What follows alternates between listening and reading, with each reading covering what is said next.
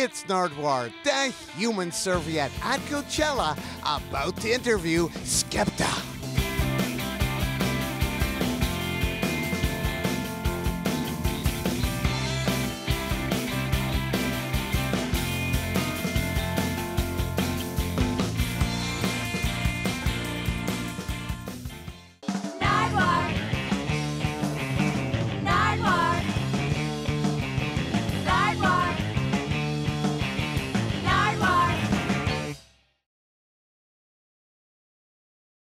Who are you? I'm Skepta, Big Smoke. Skepta, welcome to Coachella. Yeah, thanks for having me. Right off the bat, Skepta, I have a gift for you a Nigeria 70 compilation. Wow. Wow, this is yeah, this is special. I got this on my phone, but I ain't got it on vinyl. So, oh, thank you. I appreciate it. 1968 to 81. No, I appreciate this. This is like, yeah, this is the era, man. The Lijadu sisters. You get me, Fela Kuti, obviously the goat. But yeah, this is the era. So yeah, I appreciate this, man. I'll be listening to this. I was thinking that might be for Tribal Mark II, right? Um, yeah, I could probably use it. I could probably use it. I could probably use it as a soundtrack at some point. What about sample? Have you sampled any of this yet? No. Do you know what? That's true. I, I tried to sample um Fella the other day, but it ended up being like more like a house house record. Yeah, more than a rap record, but it was like a house record.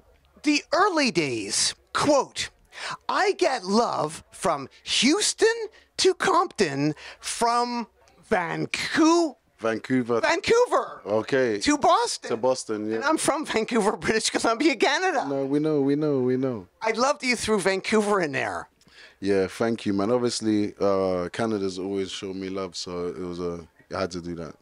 And Edmonton Green Shopping Center. Oh, hey, nah, bro, what you doing? what?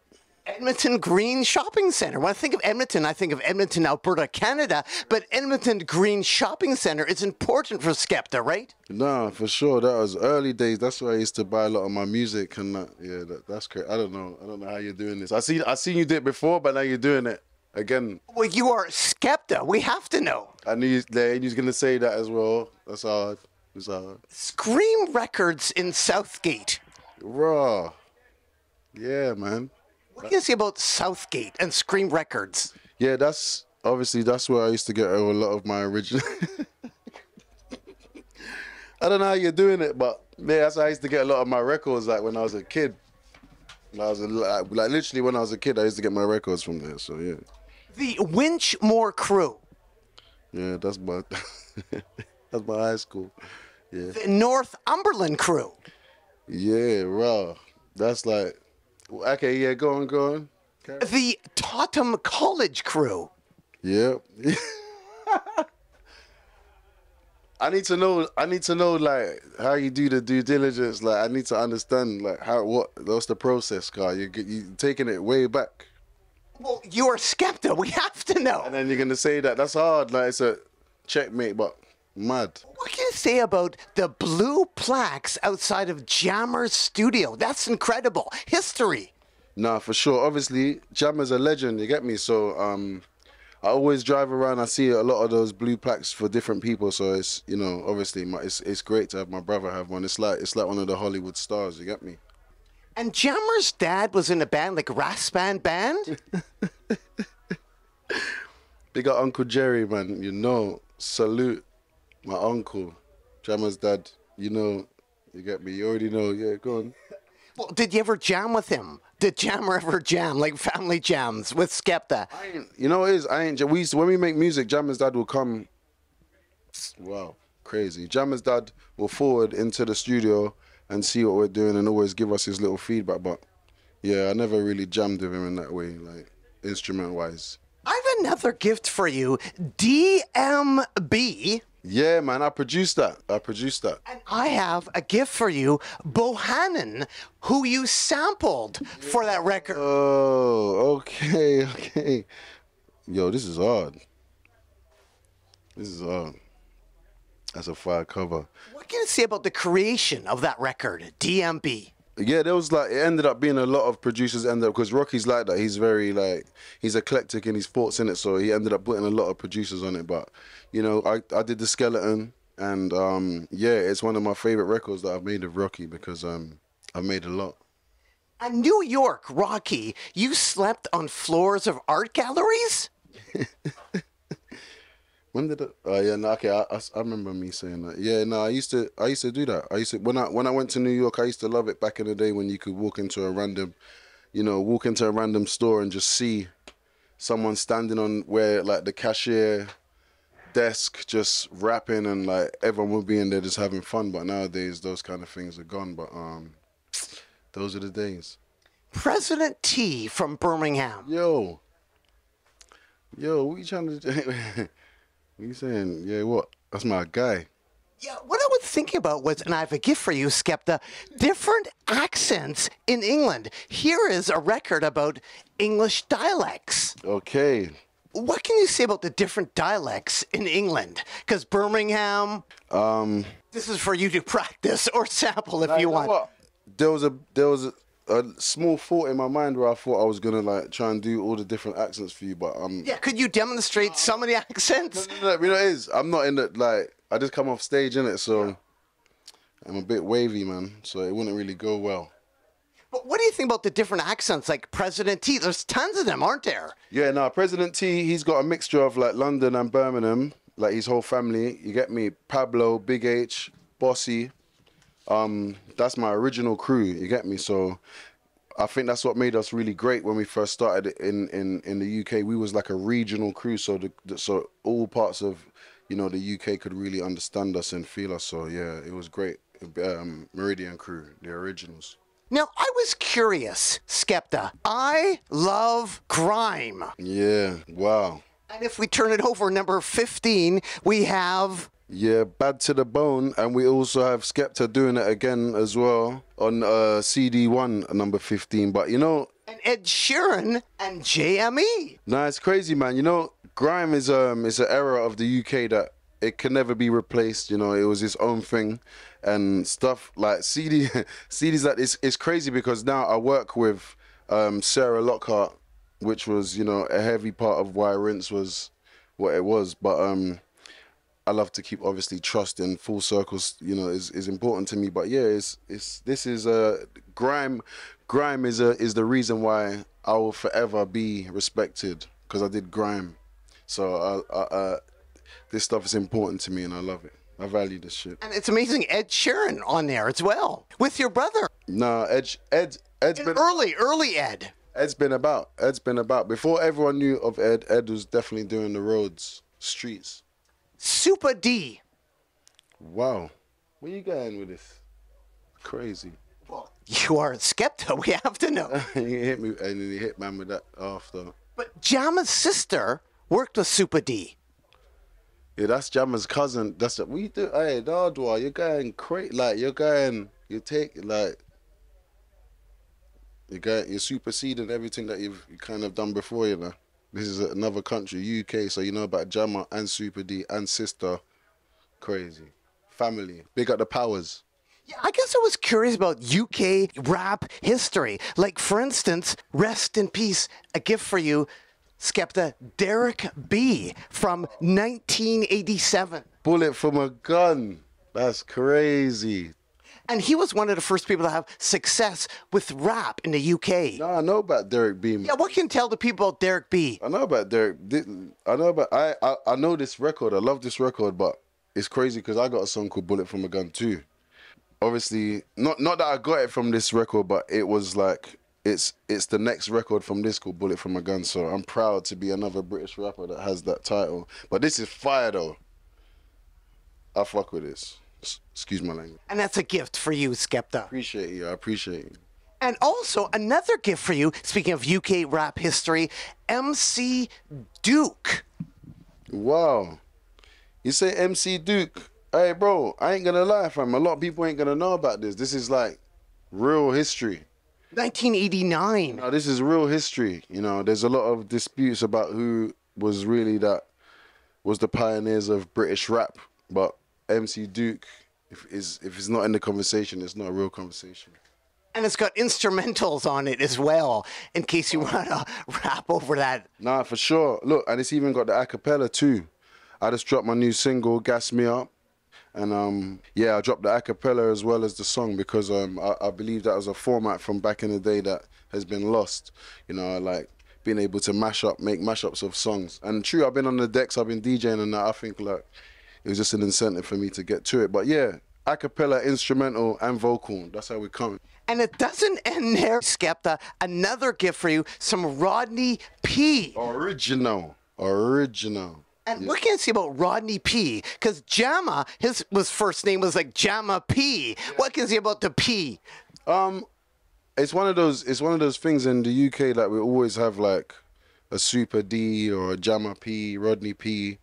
It was just. It was just a wave of names. It's how you like. You, you know, the US has like Lil and stuff like that. We used to have like names after uh, letters after our names and stuff. But yeah, this is obviously big up Rodney P, another pillar in the UK rap industry. This is legendary. And lastly, here, Skepta, a gift for you, the Wee Papa Girl Rappers The Wee Papa Girl rappers.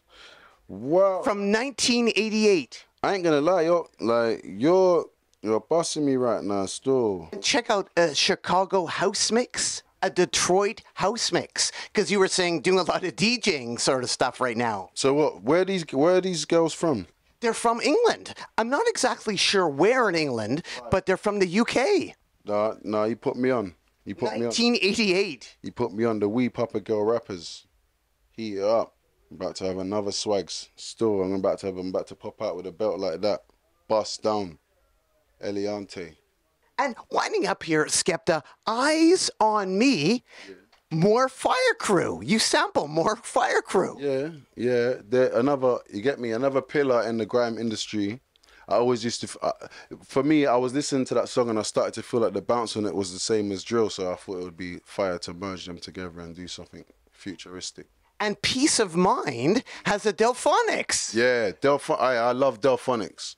I always play Delphonics in my car. Anyone anyone who rolls with me will know I, I always play Delphonics. So it was only a matter of time until I sampled that song. And lyric, pay as you go. The sample, pay as you go in lyric. Listen, man. Listen, man. I don't I don't know how you're doing this, but kudos. I'm grateful to be here on your channel. Pay as you go. Well done for that research there. Important UK rap, important, very important, isn't it? Crazy, crazy, crazy, crazy. If you're talking about grime, then yeah, pay as you go, heartless crew, very important. That's why I put them on lyrics. But yeah, I'm kind of you, you're shocked. You know what it is? You put man in like a shocked state, so I'm kind of thrown aback.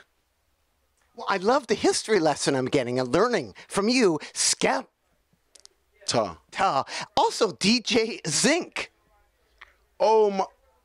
I'm not gonna talk too much because you're doing a lot right now. Divine intervention. You're saying things that are happening outside the door of where we're standing, but I'm not gonna go into that too much, Carl. Claude Von Stroke. No, you got no. All right, stop. I'm done. You're going mad.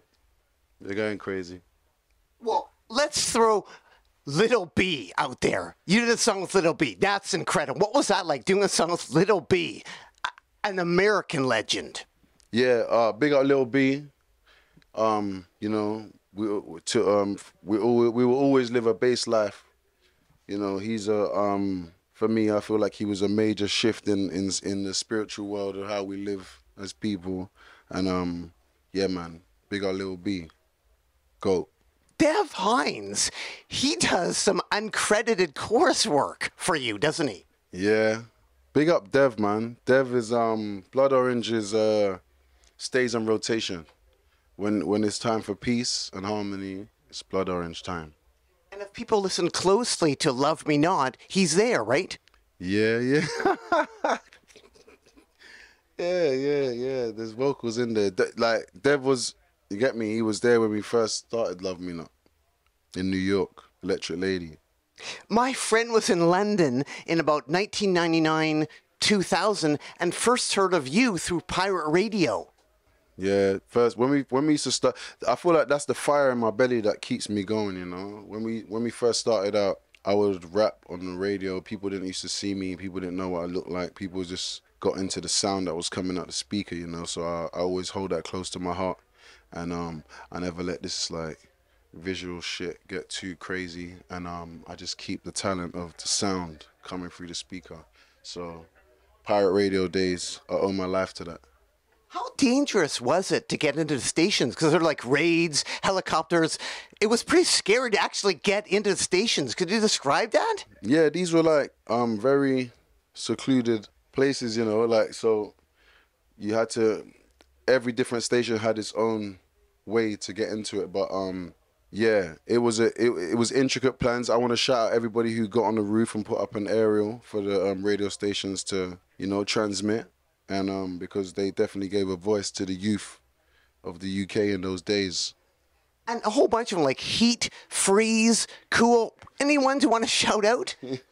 Um which one did you say? He Heat, Freeze, there's Rinse, there's Cool. There was ton- there's so many. Yeah, Deja Vu, um, Extreme. That's free shout outs. That's cool. After that, I need to get paid. Skepta, so solid crew, pioneers. Like I mentioned some of the pioneers, but so solid crew. Crazy, man. They were the first. Um, they were the first guys that we saw on the TV that looked like us. That was uh, changing their lives, um, winning awards, um, feeding their families, um, changing the narrative.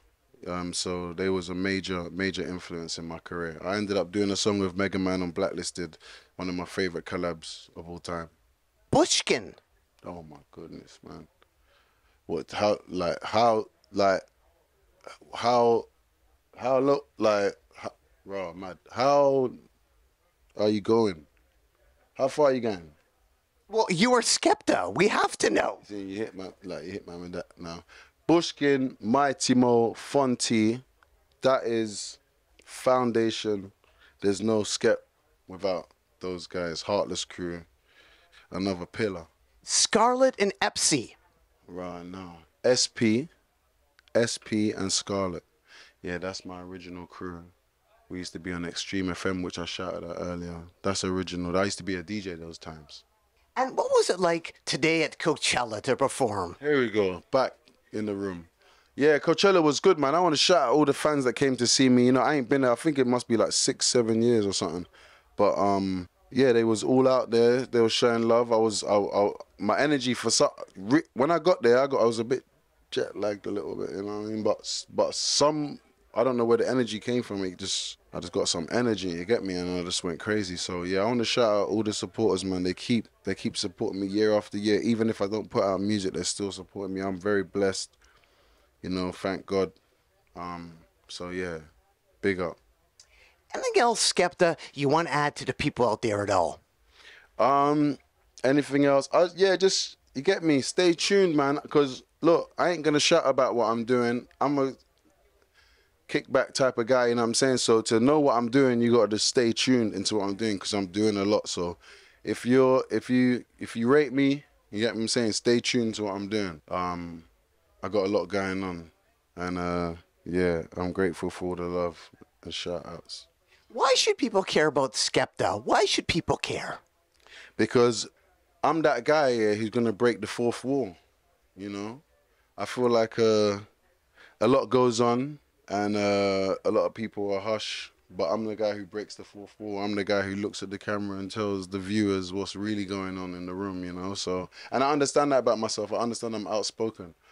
I'm like a Tupac kind of guy. You know what I mean? But um, I, all I want to do is uh, show the real. That's it. Well, thanks so much, Skepta. Keep on rocking in a free world and do, do, do. Do do. Great.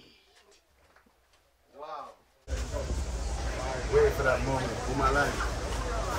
Nardwuar. Right, Steve-O. Still, uh, the brother's still locked in. I can't believe this. Nardwuar. Tell me. Got man the party truck. Yeah.